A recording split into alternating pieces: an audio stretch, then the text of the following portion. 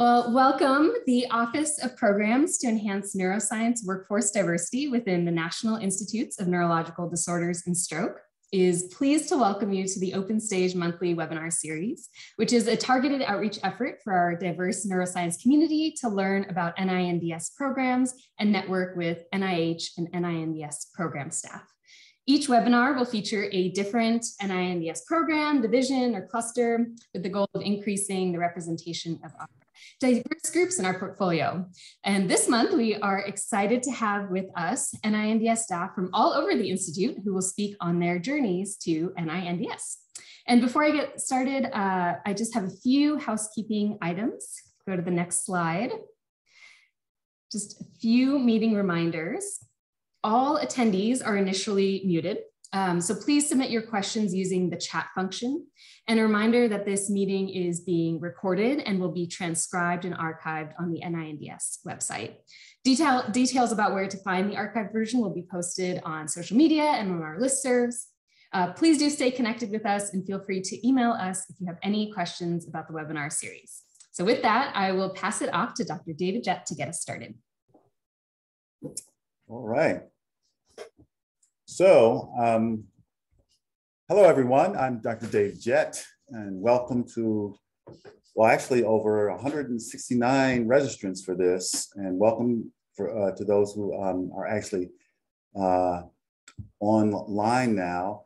And um, we're going to have a webinar with some of our HBCU graduates that work here at the National Institute of Neurological Disorders and Stroke, or NINDS. So, um, so uh, uh, we're gonna we're gonna hear from these several HBU uh, C, uh, HBCU alumni who work here, and they'll discuss sort of their journey to NIH, how they got there, um, what we do here, and then some opportunities at NIH for students and postdocs and, and faculty. So for this slide, yeah, this is, uh, you know, a lot of people don't realize that NIH is, it's not just one building or one institute. It's a lot of different kinds of institutes, actually 27 institutes and centers. Um, each one has their sort of own um, uh, uh, topic that they work or topics that they work on, like the National Heart, Lung, and Blood Institute works on heart and lung, and the National Cancer Institute on cancer, National Eye Institute on eye, minority health and health disparities, and so forth. We're going to focus on our institute, which is the NINDS, and as the name um, implies, we are focused on the nervous system. So I guess this is for my journey here. I guess um, I'd say I had an interest in science from a early age, you know, watching TV and things like that, I, I knew it was something that I was interested in. And um, I finished high school, um, did okay, played basketball there and things like that, but I, I did pretty good grades and everything. And um, I ended up at uh, my beloved Hampton University. Well, actually, it was Hampton Institute because I'm kind of an old guy, yes. So it was Hampton Institute back then. Um, finished Hampton, um, had a great time there ended up in graduate school at the University of Maryland, College Park for my master's degree, and I earned a master's in um, environmental toxicology. And um, after that, I went and got a job because I needed a job, worked for a couple years or so, and ended up at uh, the University of Maryland School of Medicine to work on my doctorate. And I um, did well and got my doctorate in neurotoxicology and pharmacology. And then after that, I went and did a postdoctoral fellowship at um, Johns Hopkins University, or the, the, the hospital part. Um, did that for a few years, um, had a great time and did really well. And they asked me to join the faculty. So I actually joined the faculty at Johns Hopkins and was a faculty there for about a decade. And then I found this great opportunity at the uh, NIH, at NINDS. Um, and I jumped on that and I've been here ever since for the last 20 some years. So next slide. So, in terms of what I do, um, so I am the director of the Office of Neural Exposome and Toxicology, or OneTox. Uh, my job is to lead the office. It has three branches one on environmental neuroscience um, and how this affects diseases within our mission at NINDS. Um, also, within my office is the NIH Counteract program or countermeasures against chemical threats uh, to national security, which I direct, but um, I, I, really just listen to my program director, Dr. Spriggs, and just do what she tells me because she's really the, the leader of that program. And you'll hear from Dr. Spriggs later today. Um, and then the uh, other branch of the office is focused on chemical safety and um, drug toxicity liabilities, more of a translational research kind of thing. Um, I'm also, you know, scientific team leader at the Division of uh, Translational Research and, and do some other stuff at, uh, at NINDS. I'm also hold a position Yale School of Public Health. So next slide. So you'll hear about opportunities um, for undergraduates, graduate students, funding for labs outside of NI, uh, NIH faculty members at their institutes. Uh, next slide. And I just wanted to end with one um, important funding uh, opportunity. And this is from the Office of Programs to Enhance Neuroscience Workforce Diversity. That is, um, guess, sponsoring this webinar and is led by Dr. Michelle Jones London and her truly remarkable staff. Um, this is an opportunity, it solicits R01 grant applications. It's intended to support new investigators and at-risk investigators uh, from diverse backgrounds. And it includes those uh, from groups underrepresented in health-related sciences. So I really, I urge you to, to look at this funding opportunity. And as always, um, there's help at the NIH for questions. So next slide. So we will start uh, with Dr. Sadhana Jackson, MD. She is a physician scientist. Uh, she is in our intramural uh, program branch, and she is head of the developmental therapeutics and pharmacology part. So with that, Dr. Jackson. Thank you so much. I'm so excited to be here. And so this was me this was me about seven or eight years old with my bumblebee sweater and just this curious little girl with these uh, cornrows in her hair and just excited about life. And so I still say that I'm excited about life. I was super excited about science and curiosity. And I see that with my kids now, just asking my husband and I a whole bunch of questions about why is this and why is that? And so I took that love of curiosity and love of life and I discovered that I really liked science. So my parents um, enrolled me in various science camps growing up. I went to science camps in uh, as early as I can remember, seventh grade, and it was called Having Fun with DNA and I actually was on NBC News uh, talking about having fun with DNA. And it just happened to be at the time of OJ Simpson trial. So I was talking about rape kits on TV, and my parents were so happy, but at the same time appalled.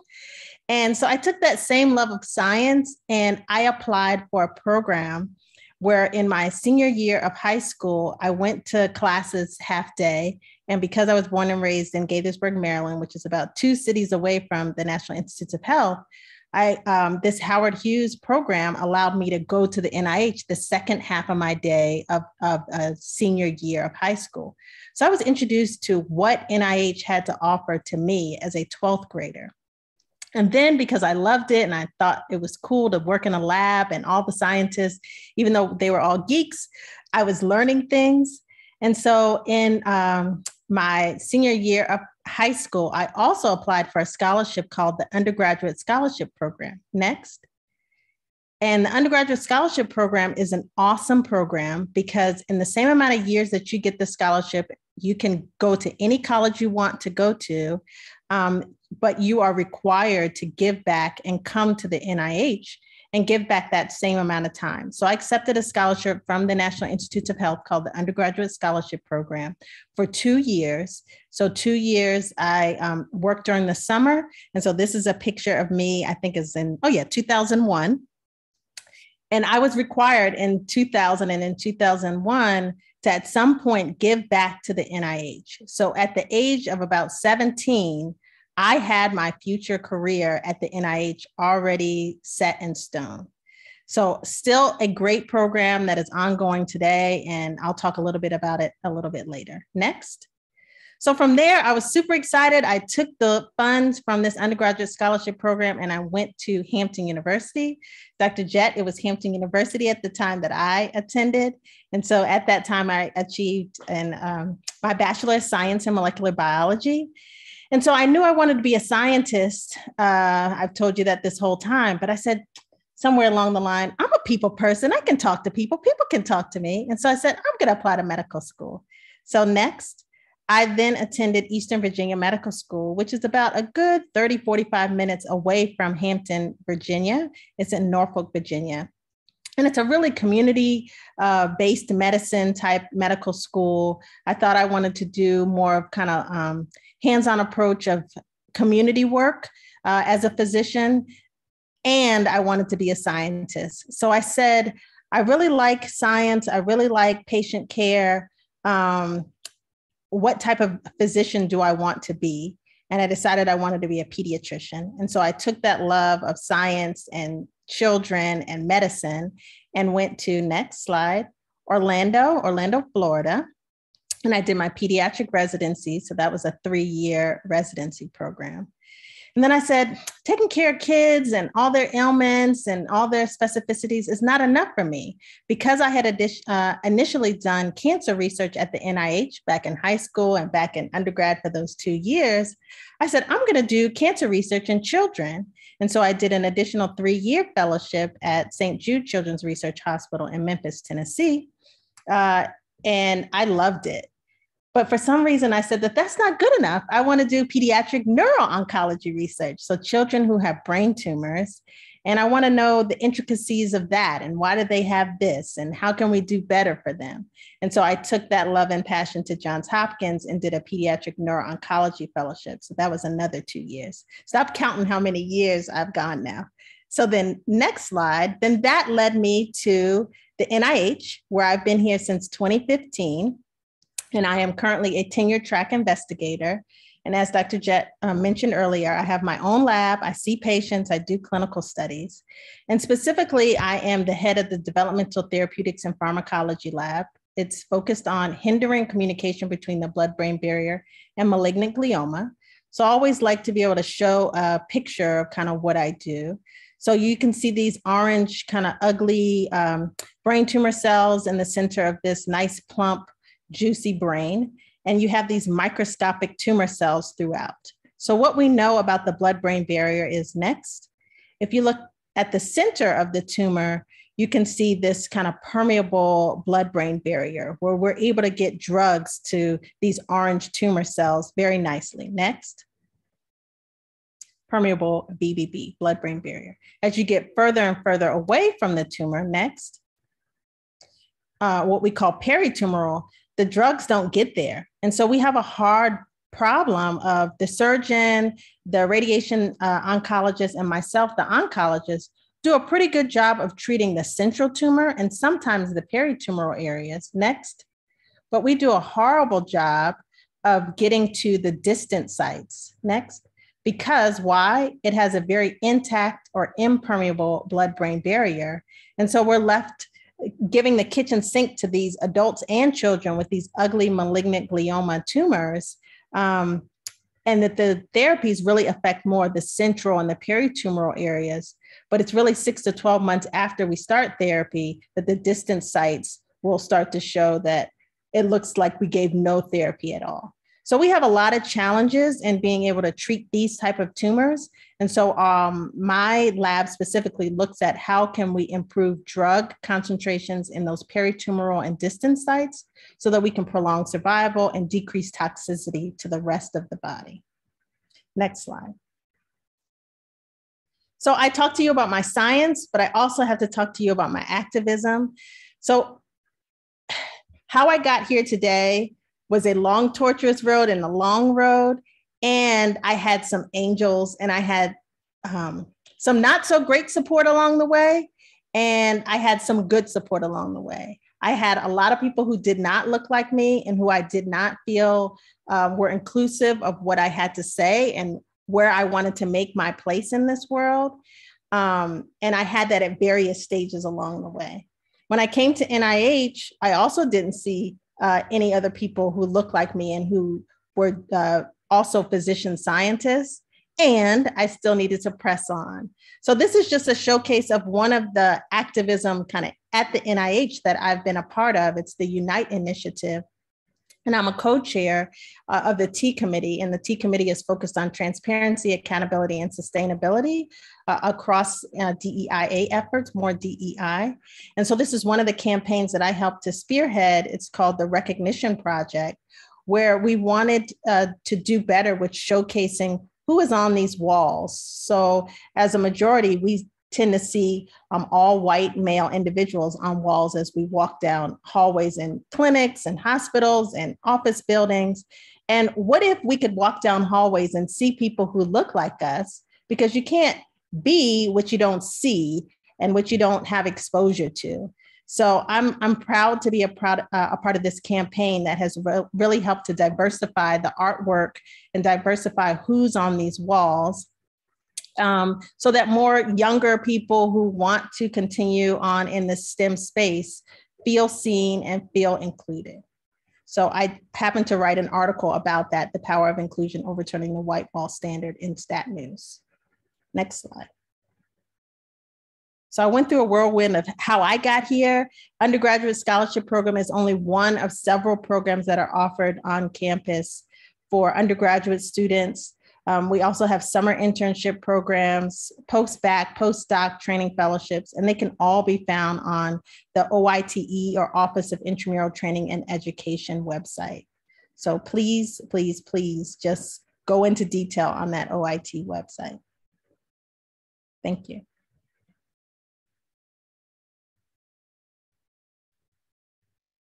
Um, sorry. Um, uh, so, okay, our next speaker is Dr. Uh, Shardell Spriggs. Uh, she is a program director in the uh, Division of Translational Research. And as I mentioned before, the real director of the NIH Counteract program. So Dr. Spriggs, it's all yours. Thanks, Dave. Uh, good afternoon, everyone. Uh, I'm a first generation college student that attended the University of Maryland Eastern Shore. The UMES was a, a, beautiful campus with a small and nurturing environment. We had a really uh, close student to teacher contact ratio that I allowed for strong mentorship. I had a very strong mentor there in Dr. Kelly Mack. There were also many other opportunities there, uh, such as doing paid summer research internships in as early as my uh, freshman year and then later participating in the Minority Access to Research Careers Program in professional organizations such as Novachet, which gave us money to travel to scientific meetings and present our scientific findings. So after undergraduate studies, I went to the University of Maryland, Baltimore County, where I continued with this theme of strong uh, mentorship in the lab of Dr. Mike Summers. I was a Meyerhoff Graduate Research Fellow. Um, the program was quite small then. I think there were seven students in our incoming class. Um, and then I successfully competed for a MARC pre-doctoral fellowship there as well. And that became kind of the blueprint for the Meyerhoff program. Also, while in graduate school, I got married and I had my two children, and they're seen here in this inset. So, this was my crew on a graduation day. I then became a stay at home mom for three years, became heavily involved in the school community and the local community with uh, tons of volunteer activities. Uh, this was more than a full time job, so it definitely belongs right here on my map. I found uh, re entering the workforce to be uh, quite difficult. Uh, eventually, um, I was able to work at Howard Community College Uh, many people saw my graduate work as not work but school. So I had to compete with what I was seen as having kind of zero years experience or skills. Um, this connection was made from a fellow mom in my neighborhood who was a faculty at the community college and also had students that, uh, I guess, kids that went to my kids' schools. Now, after teaching for a bit, I realized that that might not be the right place for me, and I needed to go do a postdoc to increase my career opportunities later on. And I found entering the research workforce even harder than just going uh, to work and was able to find a home at the University of Maryland School of Medicine where I did my postdoctoral stories studies in the lab of Dave Weber, who was on my uh, research thesis at UMBC. And after that, I was hired at NINDS as a health program specialist.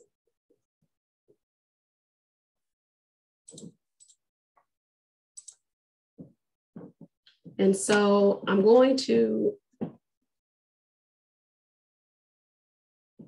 uh, talk about a little bit what my current role is here at NINDS. So I'm a program director in the Division of Translational Research. Uh, my bread and butter is the Counteract program.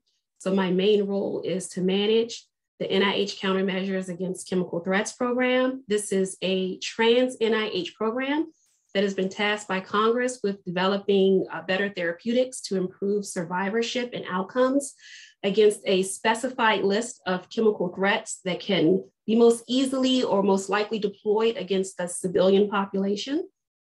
Uh, as a trans NIH program, we work collaboratively with institutes across NIH to manage a diverse portfolio that targets multiple organ systems but NINDS directly manages those projects that propose research on chemical threats that have primary and secondary effects on the nervous system. This includes nerve agents, cyanides, uh, some metabolic poisons, as well as anticoagulants. Uh, within DTR, I also manage a portfolio of grants in the IGNITE program. So some of the essential duties for my position include providing substantial input into the planning, development, implementation, and evaluation of research, organizing and conducting workshops or symposia uh, to foster collaboration and facilitate communication among investigators, advising the status of progress and emerging directions in a specified research field, and serving on interagency committees to establish and maintain effective collaborations across all the working parts of the Department of Health uh, and Human Services. So I am also invested in increasing diversity and achieving health equity and participate in several ongoing initiatives at NINDS, including being a founding member and co-chair of the Health Equity Work Group, where we strive to increase awareness and discussion of topics that will decrease health inequities in and through NIH-funded research. We've received a number of awards, a group and individual that I'm proud of in the INSET you can see the Brains RS team receiving an NIH Director's Award from uh, Dr. Francis Collins for an initiative on neuroscience outreach and education that was uh, led by Dr. Michelle Jones London in the open office.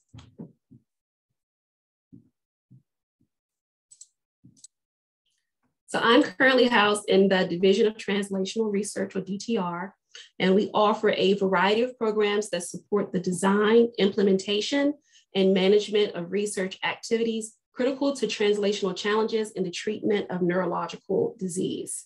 So we're helping researchers bridge that gap from basic R01 research space uh, through the first in human clinical trials.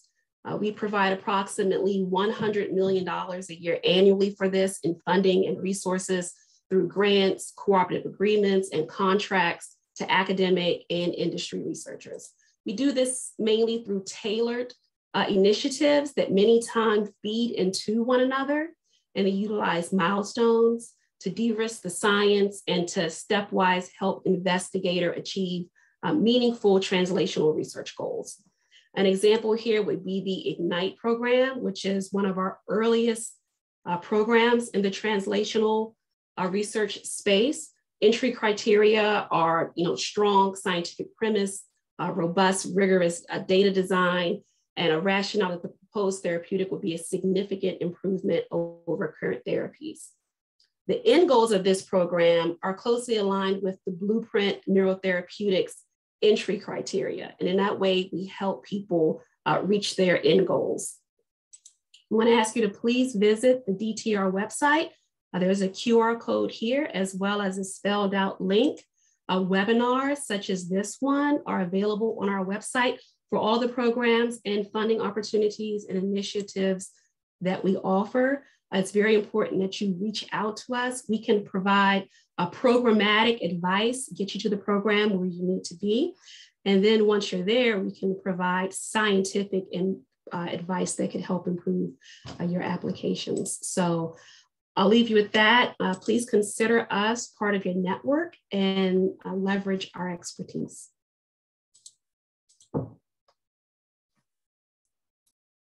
All right, thank you.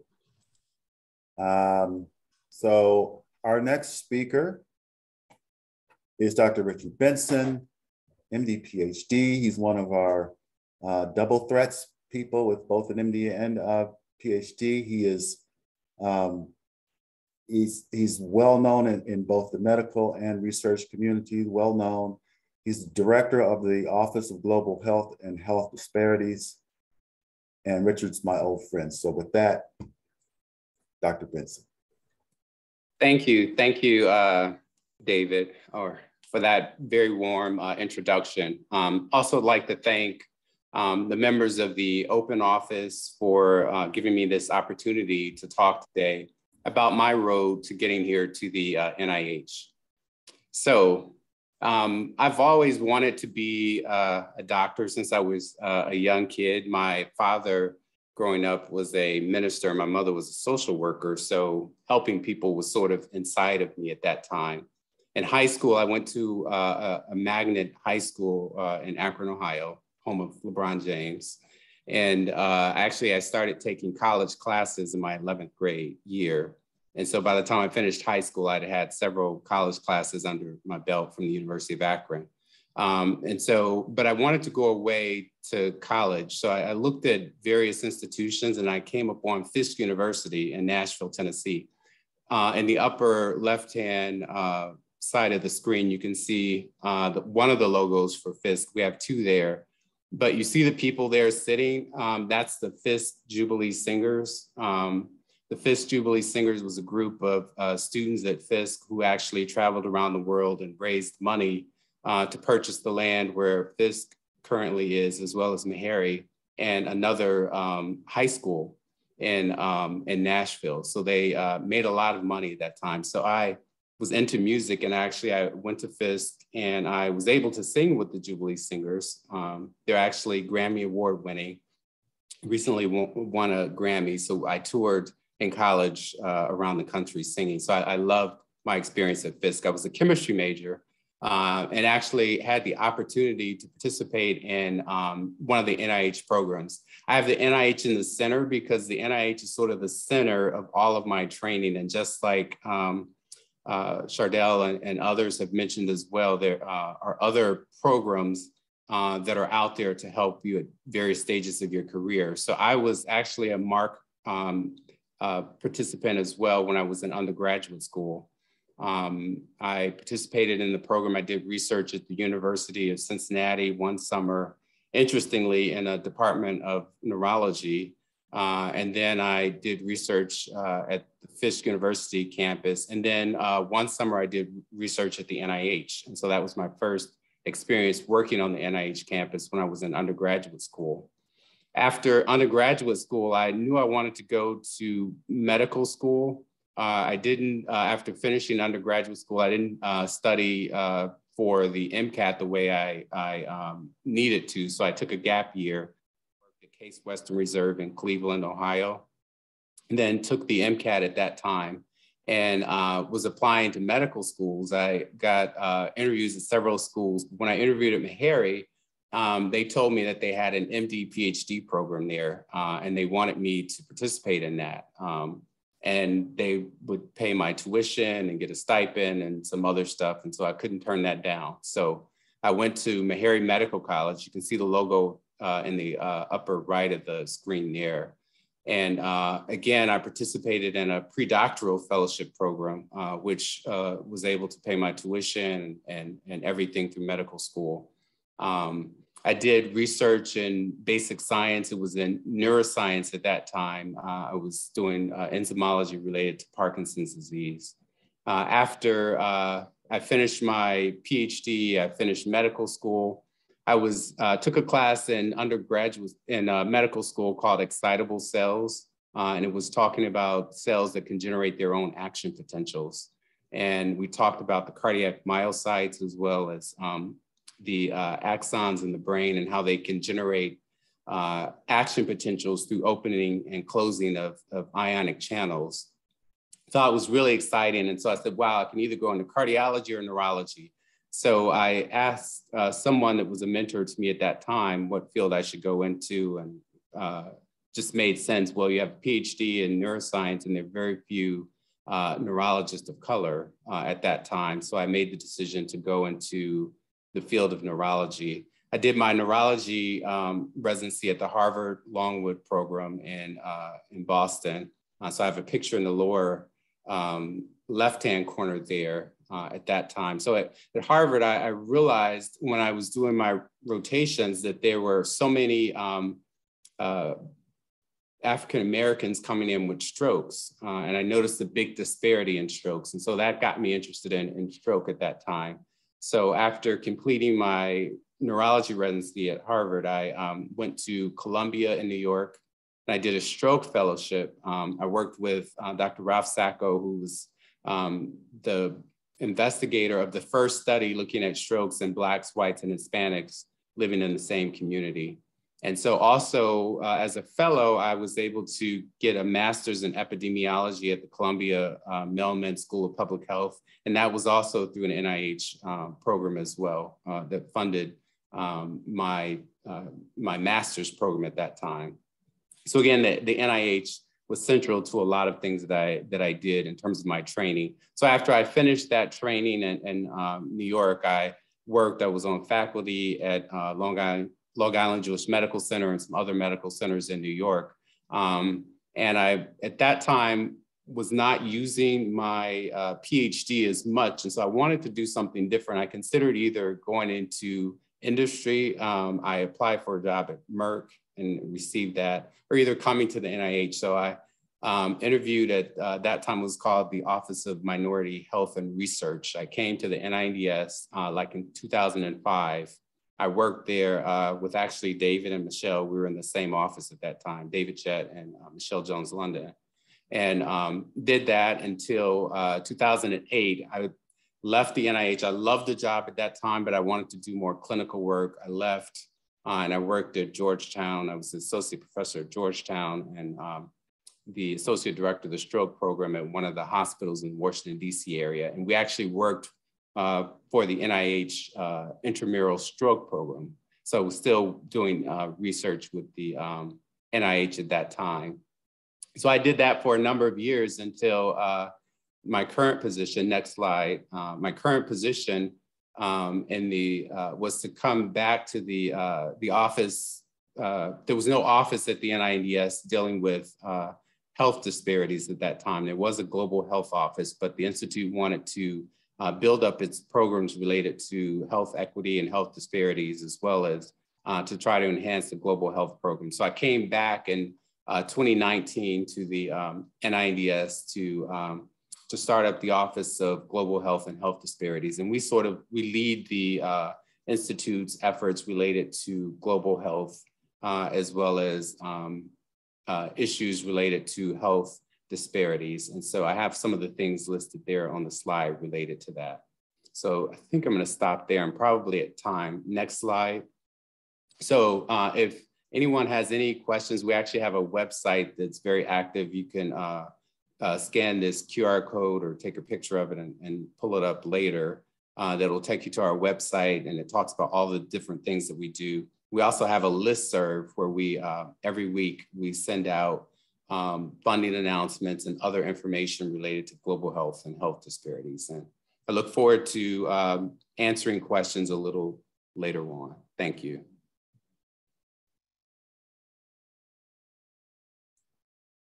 Thank you, Richard. Okay, so let's move on to our next uh, speaker, and that is Dr. Marguerite Matthews. She's the Program Director in the Office of Programs to Enhance Neuroscience Workforce, workforce Diversity. And so with that, Dr. Matthews. Thank you, Dr. Jett. It is so wonderful to be with you all today. Thank you um, for being here. And many thanks to my colleagues um, for hearing their stories. You all are fascinating people. Um, I know and have worked with many of you um, over the years, but I have loved hearing your stories. So thank you for sharing. Um, I'm going to tell you a little bit about my journey here. It looks linear um, just be because of time, but it wasn't because I planned to be here um, at the NIH. I started off as a high school student thinking I would go on to be a writer um, and not like a science writer, but um, a writer of novels, poetry, and short stories. Uh, I loved English. It was my favorite subject in school, but I was really good at a bunch of different subjects. And so my junior year in my chemistry class, um, which I loved, I loved learning about chemistry. Never wanted to be a chemist necessarily, but I really got into learning about molecules and how they were shaped, how they were named, how they worked together. And my chemistry teacher pulled me aside one day and said, I think you should apply for this summer internship. And they had sites at the Salk Institute in La Jolla, Scripps Research Institute in La Jolla, and UCSD, which is also in La Jolla, um, San Diego, California. And I thought that sounds like the most boring thing ever. Why would I want to do that? Working in a lab? Like, oh, do I look like Dexter's laboratory to you? I don't think so. So I applied anyway because I trusted him as a teacher. I thought he was um, just a really great supporter of me. And even though I didn't love science, like that wasn't where I was working towards, he still sort of pushed me in that general direction anyway. So I got into this program. I did two summers at the Salk Institute, um, and I prepared for a science fair project my senior year with the same chemistry teacher who taught an advanced biology and chemistry course. And I won the San Diego Science Fair. I won the California, I, I um, won first place in my division at the state science fair. And sort of for the first time, I saw myself as someone who could be a scientist, that scientists could look like me. Most of the people in the lab that I worked at at the Salk Institute were white or Asian. Nobody in there was Hispanic. Nobody in there um, was identified as Black. And even though I was sort of the odd person out in the lab just based on my background, I never felt alone. Like I never felt like I was just one person. It was kind of awkward because I was a high school student and everyone else in the lab was like a graduate student or above. But I felt really supported. I had a great mentor who helped me. Everyone in the lab sort of rallied around me if I needed anything. Sometimes it just stopped by my uh, workbench and ask me questions. But by the second summer that I was there, I was telling people how to stain um, tissue, how to mount slides, how to use the confocal microscope. Like I became an expert at a very young age. And you would think maybe that would spur me to want to be a scientist. Well, you would be wrong. Um, I thought I would go to medical school because I wanted to help people. I wanted to do something that made an impact. Medical physicians are a very noble profession. My father was a medical doctor. And so I went to Spelman College, studied biochemistry, um, and prepared to go to medical school. I was part of the Health Careers Club the health careers program. I was the president of the chemistry club. Like I did all this stuff, continued to do research, did a summer at Duke, two summers at Merck, um, doing research internships. Still did not think I wanted to be a researcher, but said, okay, well, I can help people and still do research. So maybe I'll go get an MD, PhD. And then I'm on these medical school interviews, and I thought, girl, you don't even like blood. Like you don't even like sick people. Why would you, why would you want to be a physician? And I just didn't enjoy any of the interviews I was on. Like I just never connected with the students, with the professors. And I felt a little lost. I'm here in my senior year.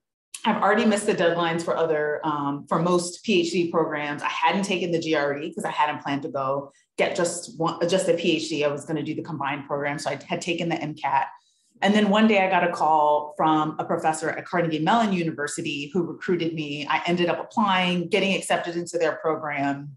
And after some drama, um, uh, transferred to the University of Pittsburgh. But I had never intended to get just a PhD in the sciences.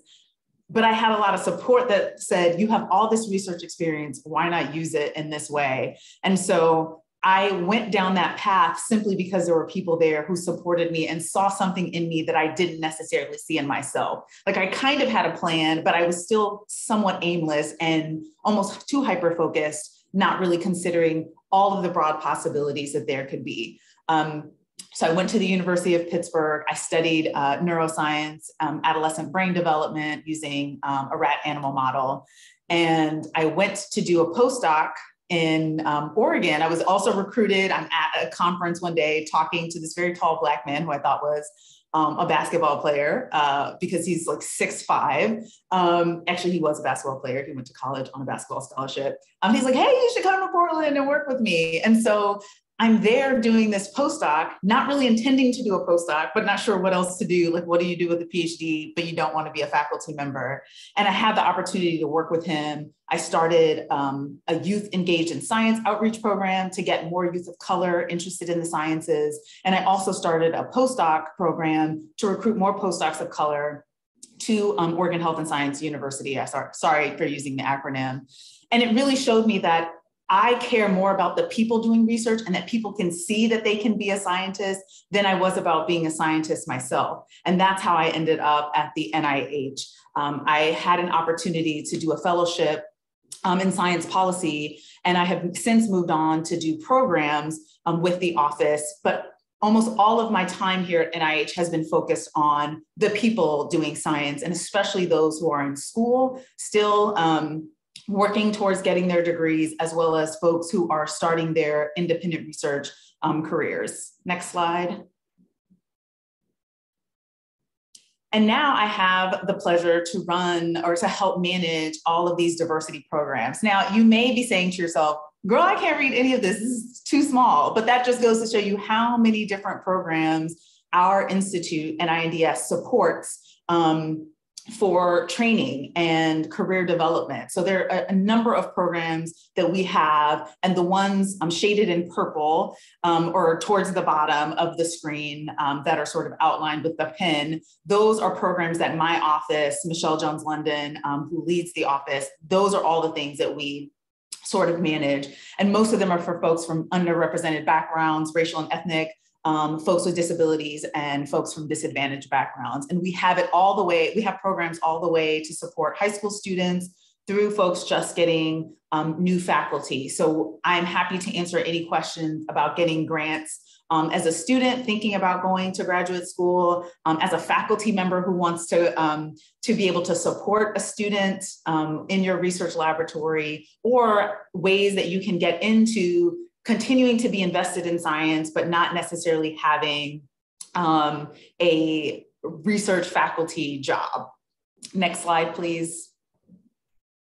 And one last shameless plug as part of my job, I don't just manage a grant portfolio, but I get to highlight wonderful, amazing people in the field. And so my colleague, Dr. Lauren Ulrich, and I are co hosts of a podcast called Building Up the Nerve. Um, and season three is focused all on mentoring, but season one and season two have a lot of great information about grants. So I encourage you to check it out. The link is in the chat.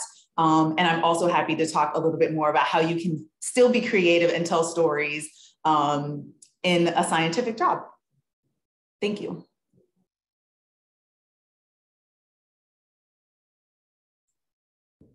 Thank you, Dr. Matthews. Okay, let's keep it going. And our next speaker, excuse me, is Dr. Lataisia uh, Jones. She's MS PhD. Uh, she is working as a scientific review officer in the scientific re review branch. And she's a pretty remarkable person and I'll, I'll let her uh, go on with her talk. Dr. Jones. Thank you so much. Hi, everyone, and thank you for being here once again. And thank you for this amazing opportunity to talk on behalf of, I guess, scientific review officers, NIH, NINDS, and whomever else I may represent while speaking. Um, so my amazing journey way before college started actually by a mishap. So I thought I was going to be a basketball player and I thought I was going to achieve so much in sports. My family has more so of a template of sports achievements and or uh, military achievements. So I was never even interested in going into college or looking towards more of the academic journey. Um, and it was this unfortunate day as a middle schooler where I was playing basketball and um, in my science class, I was goofing off too much. And my mom kept warning me along the way if you continue to talk too much in your course and your teacher sends back these you know remarks saying that you're not doing well in your course then i will have to take you off the basketball team and lo and behold as you probably already know the story i was removed from the basketball team as a source of punishment but it also redirected me to focus on my course and I all of a sudden fell in love with science. I realized that some of the things that was being taught was in everyday life. And from there, I joined a debate team. And the only question I remember having in this debate team, the, I was able to get the answer, and the answer was chlorophyll. And I knew from there that obviously there was some type of alignment in a journey that I needed to travel in. So even with all of that being said, when, when I started at the amazing Virginia State University, which is the alma mater that I'm always going to love. Um, I started on pre-med track, going the biology route, and I just knew I was going to become an MD. And during my freshman year, I saw a flyer on the wall, and it was asking for individuals who would like to uh, participate in a research internship opportunity at the College of William and Mary. And it was asking for upperclassmen. As I told you, I was a freshman at the time. And the person that was in charge of it was Dr. Glenn Harris, who later became my advisor. And I just kept asking him repeatedly every week, is there somebody that already applied? Is there any way you can push me through? And fortunate for me, no one else applied. I was able to be bumped up to, you know, a priority as far as an applicant. And they took me on as early as it was to explore and to experience the lab environment and the lab um, excitement that I had already, I never knew I would ever receive within that type of environment. At this point, I also figured out a lot of other things. Not only was this excitement for the laboratory heightened, but I also met the first female that I've ever met that owned her own lab. So, and she literally did the firing, the hiring, the restructuring of experiments, the publishing, and she was called on as a um, world-renowned scientist in what she was focusing on. So this was an amazing experience for me that not only redirected my path, but it motivated me to continue in this path. Um, I then went to continue research, which eventually led me into my master's research under the guidance of Dr. Glenn Harris and also with Dr. Brian Sayre. And in that research, I found out some other things about myself. I took a trip to Ghana where I did some outreach, taught students English, science, and math, and fell in love with the fact that I can put my excitement for STEM along with how I teach kids and hopefully create new programming ideas that would fill in the gaps along the way as far as keeping them excited for STEM as well. So I decided from there that I wanted to continue doing this. And the best way that I thought to, of doing that was to receive a PhD or to earn a PhD. So I applied for certain departments in colleges. And as you can see, I went to, into the Department of Bio, uh, Biomedical Sciences at Florida State University, where I was the first African American to earn a PhD. And I also continue to explore the outreach activities that I was able to spearhead and create, as well as, you know, still participating in organizations that allowed me to strengthen my ability to do these programs and these um, activities. I then went from there to my postdoc at Children's National Hospital in Washington, DC. And there I was working under, also working under a uh, diversity supplement. And my focus was from PhD all the way to my postdoc was now autism research, but neuroscience based, utilizing the molecular techniques that I had gained from being at Virginia State University. And I knew that this was my passion because along the way I was a lot, I was able to meet some of the people that I was helping because of the collaborations that we had with hospitals in receiving samples. I was allowed to meet the families and some of the um, individuals who were putting endowments into this research. And I realized not only how my passion was thriving off of this, but also just the ability to help in individuals within a lab setting. A lot of times when we think about a lab, we're thinking about the experimental model and maybe how, you know, genius a, a person may be, but we don't often get that um, that personal touch when it comes to being in person with the individuals that we're helping. And so it was a remarkable, remarkable experience to have when I met these individuals that I was helping and continued to motivate me. But I knew that being within a laboratory environment was not the end goal for me. As you can see, I love to speak and I love to do outreach activities. Um, I wanted to kind of find a more suitable position that would utilize my passion for neuroscience and helping others, but also allow me to educate, allow me to do more outreach, and not have to be within a lab setting all day, every day. So in the midst of looking for what that position sounds like, because it, it, sounds like an impossible position sometimes, right? Like there's no way that position exists. I decided to um, apply for fellowships and I landed at the American Society for Microbiology in an ethics fellowship where I was literally looking in publications that were in the process of being uh, published it, with published manuscripts that were trying to be published at the American Society for Microbiology and looking for data fabrication, plagiarism, or any other types of scientific misconduct. In this position, I learned a lot of things about communicating with early career um, scientists, as well as the more mature ones and more senior ones within the labs, and trying to educate them about the proper ways and the proper processes in, in publishing their manuscripts. Um, I also realized that a lot of the skills that you learn with or pick up within your laboratory setting are translatable as far as transitioning to other positions that may not be within a lab setting. So now at this point, I knew the sky wasn't even the limit. And after being promoted to the senior ethics specialist at this uh, amazing, amazing, amazing organization, I decided I kind of sort of wanted to still go back to my home and my passion, which is neuroscience. So I found my way back to that by coming here at NIH, where I'm working in NINDS as a scientific review officer. Next slide, please. So just in case anyone is unfamiliar with what a scientific review officer does, um, it's a lot of things. so I wish I could just sum it up in one, two or three words, but I can't but I think it's a we play a really, really, really important part, and there's other players involved. We constantly communicate with others, whether it's the applicants, the reviewers, the programs office, and so on, to achieve a lot of different goals. Um, a lot of things that we do is managing and leading NIH. I, I manage and lead NIH closed scientific grant review meetings. I recruit um, reviewers with the expertise needed, and also those who have are qualified to review certain grants. Um, I'm looking at for anything and everything, such as the actual expertise, um, the training record of an individual, publication record, or have they earned grants on their own as well? Um, especially with some of the grants that I have under my control, I'm looking for individuals who can assist with guiding future scientists and applying for their own grants, publications, uh, improving their publications and completely structuring the career trajectory that will put them in a successful review policies to novice reviewers, participate and contribute to NINDS wide workshops and grant funding meetings, coordinate orientations and meetings, which are really important for those newer reviewers to become more acclimated with the newer FOAs or even ones that I'm asking to recruit them to uh, review. We wanna make sure that they all understand the reviewer guidelines for these applications so that they know how to evaluate them properly and to properly provide good feedback. Um, and last but definitely not least, I pre prepare summary statements, record scores, and establish expectations.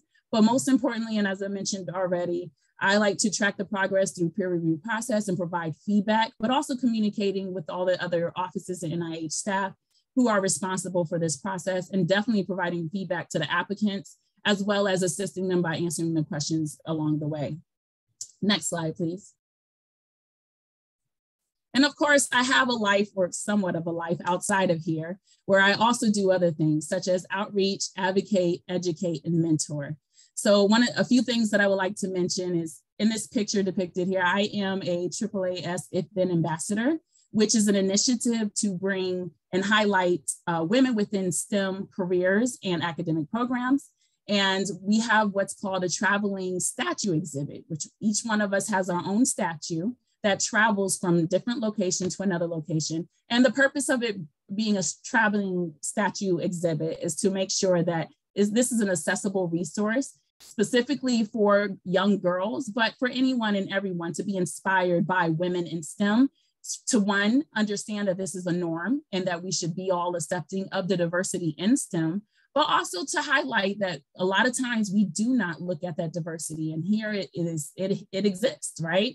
So we are trying to show that these individuals exist in these fields and we're trying to progress and push it through. Many of us are also advocates and educators and mentors as well. I also have speak to a lot of different schools, I um, especially HBCUs, of course. And I have my own initiatives such as STEMming While Black, which is a program to enhance and promote those who are Black or, and or African American within STEM programs and to showcase them as mentors to others as well as Hey Dr. Tay, which is my brand to completely and utterly show the STEM excitement that I have and hopefully share that to the newer generations through small engaging experiments that they can do from home.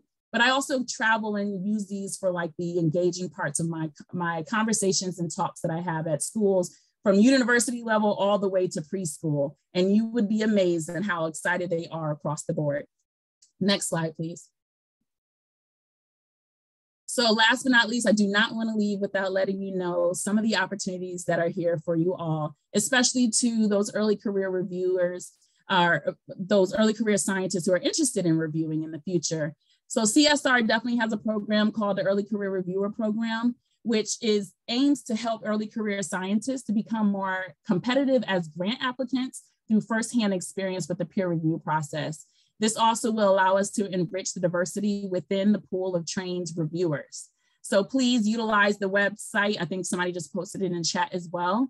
Um, if you would like to learn more information about that, this is the website that not only shows you how to apply, but it will show you the qualifications. And then the big thing here is the benefits of it, working side by side with some of the most accomplished researchers in your field, learning how to identify, learning how reviewers determine overall impact scores, improve your own grant writing skills, serve the scientific community, and in developing research evaluation and critique writing skills. And last but not least, I am always looking for um, new reviewers as well. And as you all know, and I've said this earlier, I think that the grant review process is the most pivotal part in any young scientist's life as it subjects the research and career goals of the applicant to constructive criticism. So if you are interested in providing critical feedback to an aspiring neuroscientist, please email me at latasia.jones at nih.gov. And I am welcoming any questions later. Thank you.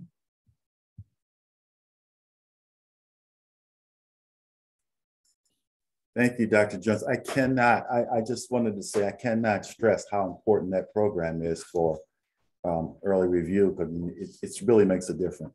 So um, our last and certainly not, uh-oh, what's this? Unmute myself.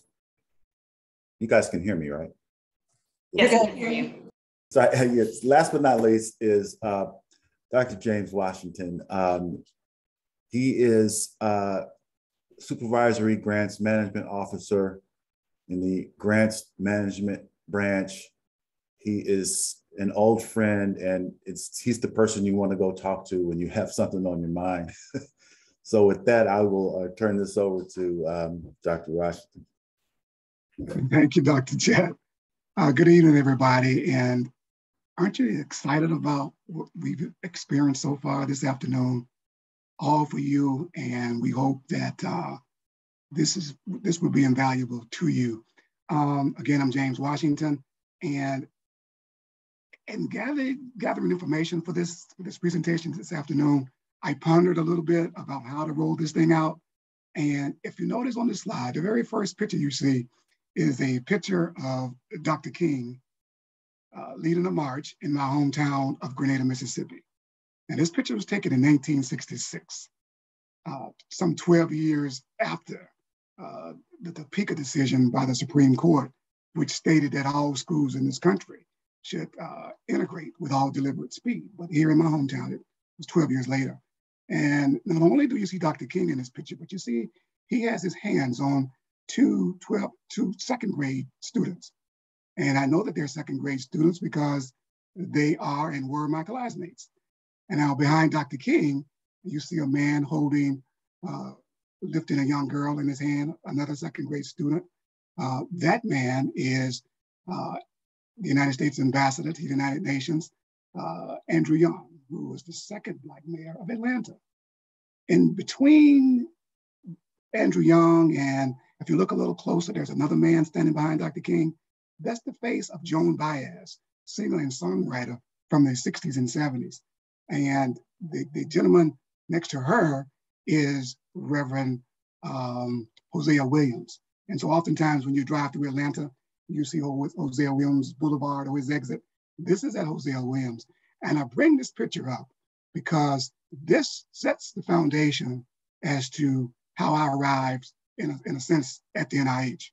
Um, again, this is 1966. I'm second grade. The schools weren't uh, integrated yet. So it took uh, superpowers such as Dr. King and, and Reverend Abernathy and Joan Baez and Andy Young to come to my hometown uh, uh, autumn day in September of that year uh, to help integrate the schools. And so this took place and right at the height of the civil rights movement uh, in, in, our country. And um, so from there, uh, this is 66, I'm second grade, but I actually had my first experience in an integrated uh, environment when I was fifth grade. So from first grade to fifth grade or fourth grade, I'm at all black schools. And uh, I remember receiving uh, hand-me-down books from the white elementary schools. Um, their stickers were stamped in there. We would get the fifth edition when the 10th edition of that book was already out. And I'm going somewhere with this. Stay with me if you can. And so we were receiving back then hand-me-down books and supplies um, that were outdated. But nevertheless, uh, we persevered. And I bring this up also because my journey to the NIH is nothing short of a miracle. It's somewhat unorthodox. It may be a little unusual. Um, I didn't have the luxury of having parents who had degrees or who were educated. In fact, my parents were farmers, former sharecroppers with very little education. And I am the eighth child of 11. Uh, I have five brothers who are older. And at the time, I had uh, three sisters who uh, were older. But the thing about my parents is that they made sure that we all got education and that we all went to college. It was an option. You had to do this. And so they instilled on in us at, at, at an early age um, the education piece. And so um, in high school, I was an outstanding athlete. I was one of the, literally one of the fastest sprinters uh, in my state, not just my little small rural town, but in the state. Um, and I was approached by several different PWIs to come to their school and to play football and to run track. And up until the spring of my senior year of high school, that's the direction I was headed. I was on my way to a PWI within the state of Mississippi, and I was excited about it. Now, remember I said I had gone through uh, the integration process. Um, my hometown at that time was predominantly white. And so most of the recognition and the accolades and the awards, the white students always got those. So in my senior year, uh, high school, I got to thinking about a whole lot of things. You know, at 17, your mind is all over the place. And so at the very last minute, I decided and I selected my HBCU, Jackson State University. To the, too much uh, disappointment of some of my coaches in high school, uh, but to um, to my pleasure, it has been a pleasure for me. Uh, at Jackson State, I met and married the love of my life, uh, Esther Hope Washington, who was uh, in 1984 Olympian track star, um, representing her native country of Trinidad and Tobago. And Esther and I have three beautiful, wonderful daughters uh, who happens, all three who happens to be undergrad HBCU graduates. Our oldest daughter, Francesca, uh, she's a graduate of Alcorn State University. She's also a supervisor in one of the labs here at the National Institutes of Health. Our middle daughter, Dr. Jett, as you well know, Ashley, is a member of your And Dr. Jackson, she's a member uh, of your alma mater, uh, Hampton University. And, uh, the way things work out, Ashley is employed at Spelman, another HBCU. And finally, our third daughter, Amanda. Amanda is also a graduate, uh, Dr. Matthews, of, of your Spelman College. So she's your Spelman sister. And she's employed with uh, DC Public Schools as a recruiter for Bard High School College. All of this is, is part of how I got to the, to the NIH. And so prior to coming to the, well, right after, right after, after graduating from Jackson State, no, before I graduated from Jackson State, I did a semester internship at the VA Medical Center in Tuskegee, Alabama. And I chose to do my internship at Tuskegee, Alabama because of the, the culture and the heritage of Tuskegee uh, and Tuskegee uh, VA Medical Center, because it was the first Black all operated uh, uh, Veterans Hospital for Blacks, established, I think, in 1923. But anyway, I matriculated through that. Um, shortly after completing that program, I went back to Jackson State and pursued a master's. And here's the funny thing I mentioned my wife, well, and I mentioned the track part. Well, in 1983, uh, we were going out of state to grad school, Esther and I were. But Esther decided to stay in Jackson and to train under her coach, who had been coaching her for uh, four or five years. And so, me being bitten by the love bug, you know, at 22, 23 years old, I decided to stay in Jackson and go to, to grad school along with her. So we both graduated from Jackson State uh, together. Uh, and in fact, we graduated as husband and wife because the second year of grad school, we did, uh, we got married. And so after living in Jackson for a while, we decided to move to Louisiana. And so we migrated to Louisiana, whereby I took a job. Uh, now, let me back up a little bit. My undergrad degree had nothing to do with biology, chemistry, anything like that, although I took some courses because of my major. My major is something that's really kind of strange to some of you. It's called therapeutic recreation, whereby clinicians take the activity or the modalities of recreation and put them in a therapeutic form, and you work primarily in a clinical in a setting, as I did. Now, there are some other areas that uh, were known as TRs. TRs work in different settings, but for me, for 16 years, I worked in a clinical setting. And so I was a senior uh, uh, therapeutic recreation specialist, and later on became a supervisor. And in all of my experiences as a therapeutic recreation specialist, becoming a senior specialist, and then becoming head of a department, I was always surrounded by people who didn't look like me. Uh, in fact, when I was at the Touro Rehabilitation Center in New Orleans, a huge rehabilitation center, and I was only one of two uh, Black department heads. And so that was kind of eerie a little bit and so, but I, I we, we muddled through that because I remember where I came from. And coming from an HBCU uh, such as Jackson State, I, I knew that um, I would be in a minority setting or the minority in the setting, but it, it, it challenged me and it caused me to excel. So I never felt inferior. I never felt intimidated. I always felt that I had gained enough knowledge at Jackson State that I could do and live out the adage of running faster and jumping higher.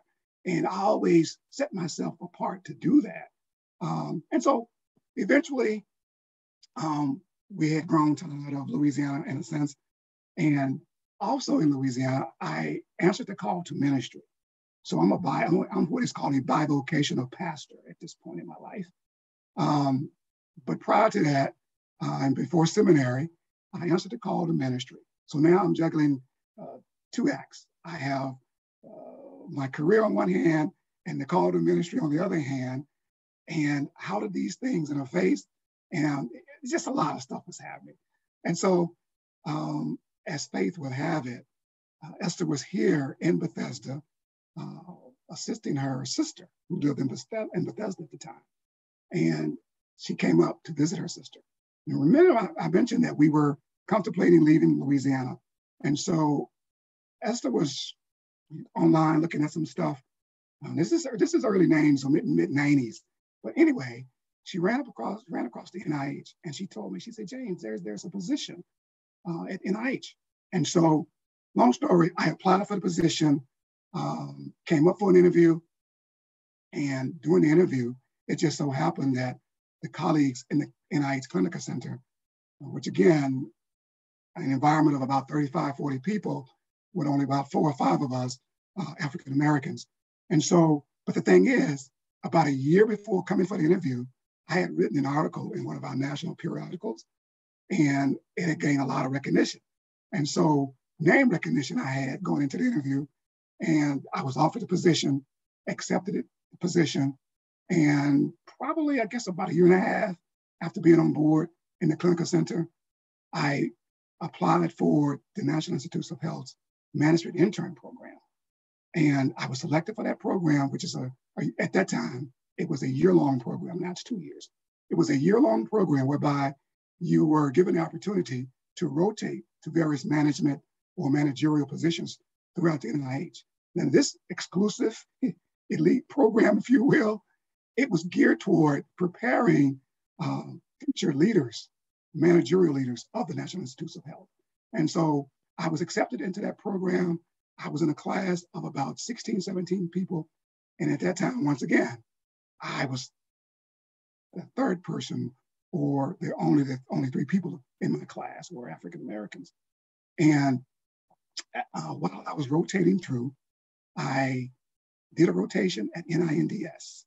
And I fell in love with NINDS because outside of NDI, uh, NINDS, this was the first opportunity at the NIH where I was engaged in so many sophisticated, educated, intelligent uh, Black people.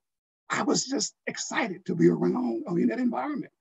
Because remember now, all of my career, I'm working with predominantly white people. Now,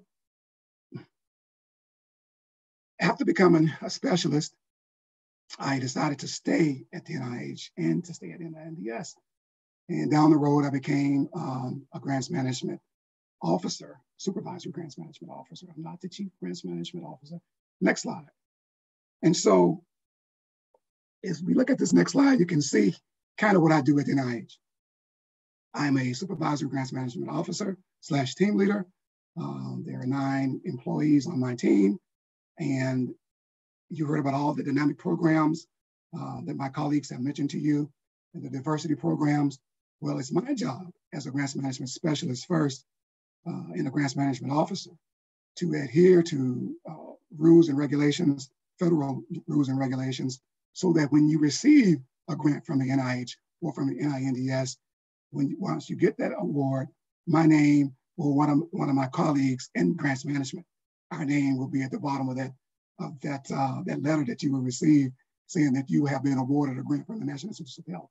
So I partner with the scientists to make sure that the rules and regulations uh, are adhered to so that we can properly administer the funds to you. And as I conclude on this presentation, my portion of it, I too am a part of the United, uh, United a part of the NIH's Unite uh, initiative. Um, and you heard my colleague, uh, I believe it was Dr. Spriggs, Dr. Jackson, I'm sorry, Dr. Jackson, who mentioned um, that she was a part of this, this initiative as well. This initiative in general is set up so that we can really, the NIH can really walk out diversity, inclusion, uh, and, and um, accessibility um, so that we can reflect society. In other words, NIH, in my opinion, as well as throughout the federal government, should reflect the people so that we can really be for the people, other people, and by the people. And so I am a part of that. And I'm also, as you can see at the bottom, uh, I am the founding pastor of Emmanuel City of Hope. And so for the last 13 years, I've been doing that. Uh, our youngest daughter used to refer to me as Superman because she couldn't figure out, Dad, how can you do all of that? Be a father, a husband, and you know all of this. But by grace, we do it. And so I would encourage you uh, who are listening to, to, today that as you get educated on the various uh, educational opportunities and grant opportunities, that you partner with your sponsor research offices at your locations, because these individuals are going to be the ones who are going to help you write these grants, and they're going to know about the funding opportunities that the NIH uh, is, is, is, is putting out there. So that's kind of my thing in a nutshell. Thank you. All right. Thanks. Thanks, Dr. Washington. And uh, yeah, I, I won't say that I asked you to encourage your daughter to go to Hampton, but I'm just saying, you know. Um, so, you know, we're going to do some question and answers, but before that, I would like to ask for the boss to say a few words. Dr. Michelle Jones London, who's the director of this office, and I could go on about her, but you know, she's she's my sister, so I would be biased. So I don't know if Michelle, can you can you are you still on? Can you jump on and say a few words? Here, my so David Jett, for those who don't know, is my big brother and my NIH mentor. I just, I mean, the words that I would have to say is just wow. Even though I have known most of you for a while, just to hear your stories all together, it is just, it's just really inspiring. And hopefully those at the presentation today, you know, we always talk about us existing, right? There's a myth that there aren't any African Americans or Blacks in science at all. So I think today you proved a couple of things. You proved that we exist, we are here, we're not only surviving, but you are thriving.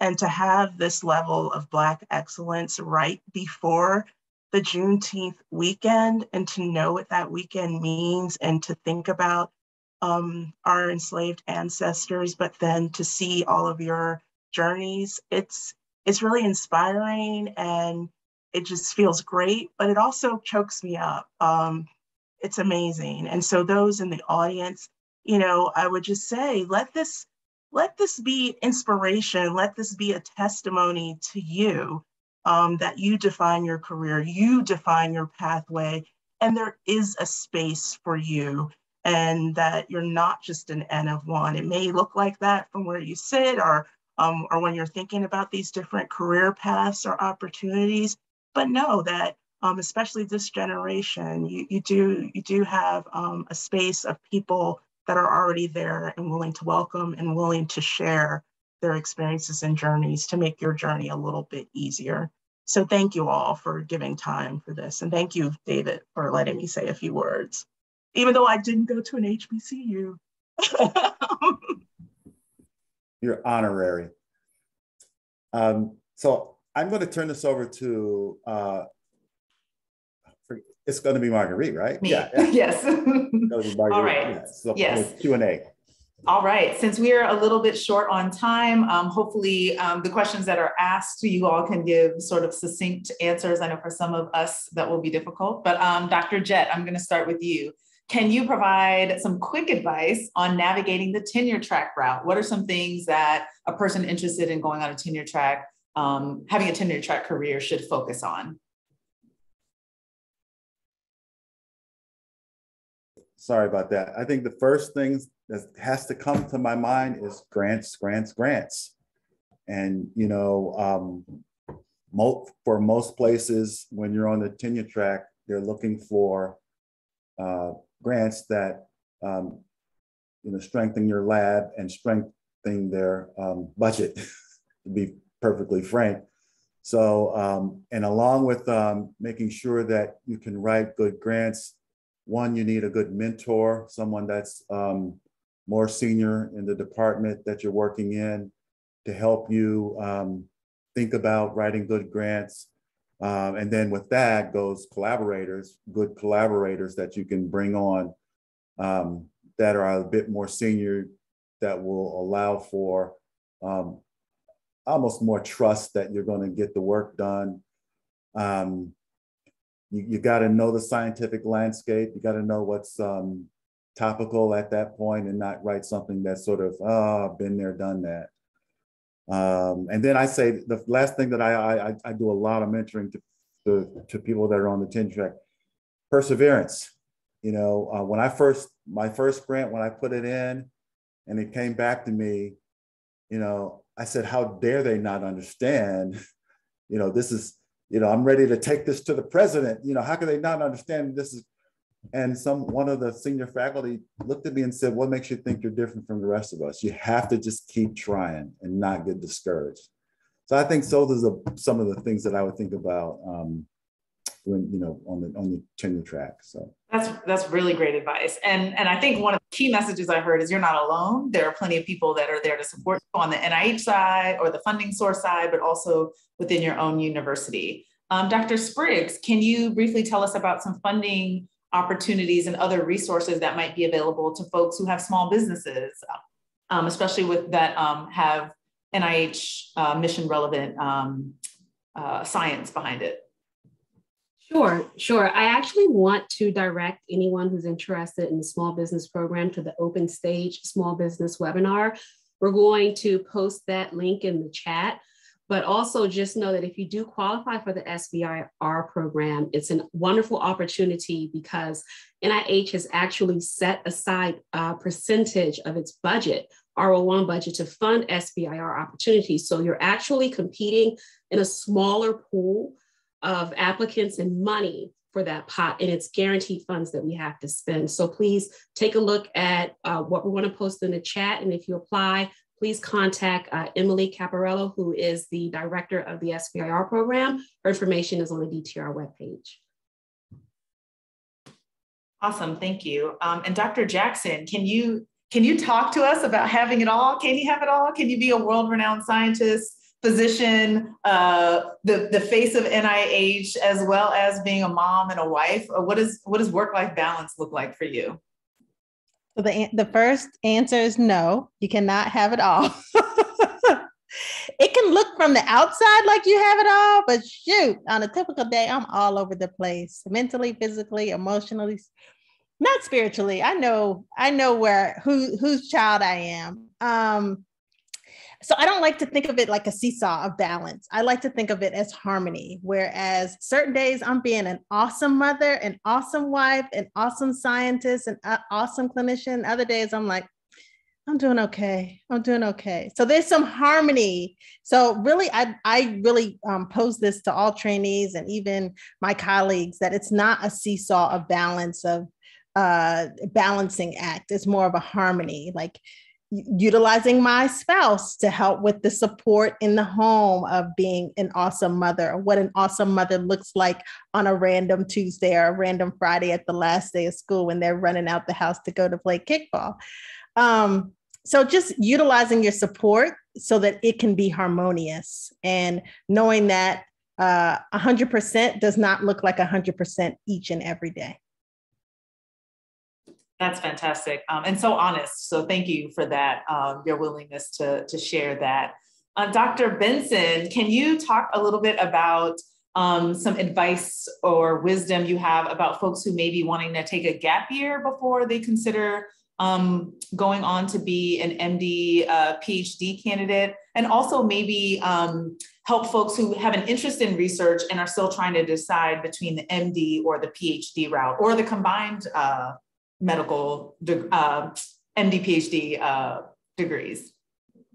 Well, uh, thank you, Marguerite. No, I'm I'm a big proponent of gap years. I, I think that they're great. Um, I used my gap year to work as a research assistant, and I studied for that year. So it helped me. It, it helped to solidify my interest in in research. Um, it was basic science research, but it, I turned that into clinical research.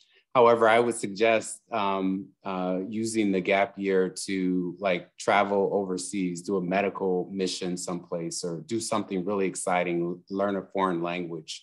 Um, when I was at um, Harvard doing my residency, I found that a lot of the medical students there had done gap years and they did these really interesting things that uh, actually uh, made for great um, personal statements um, in their applications.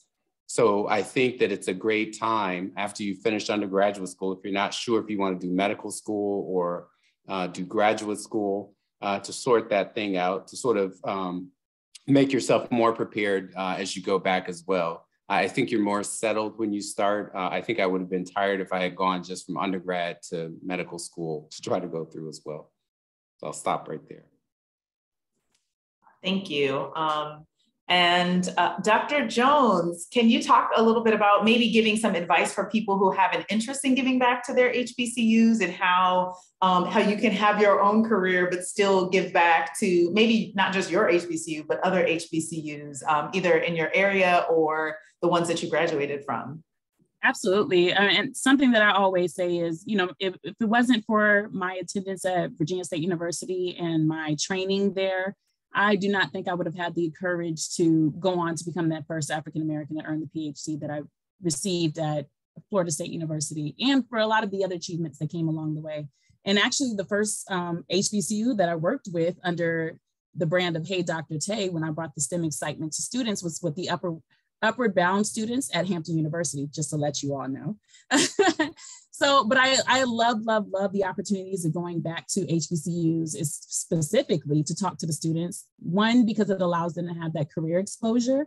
And two, it allows them to ask someone that has literally stepped in the similar shoes as they are stepping in now and walking similar paths to kind of figure out how to navigate that system, that journey, and the resources that are available to them and where to find those things. So, you know, just I, I am often talk well welcomed to some giving some talks at certain HBCUs, but I also want to encourage those who are here, if you are in charge of programs, departments, or whatever else, if you please just send us an a email and ask for us to come out to your schools in whatever capacity. Maybe you want to learn about a grant mechanism or you want to learn about how to become, you know, more efficient at getting funding at your institute.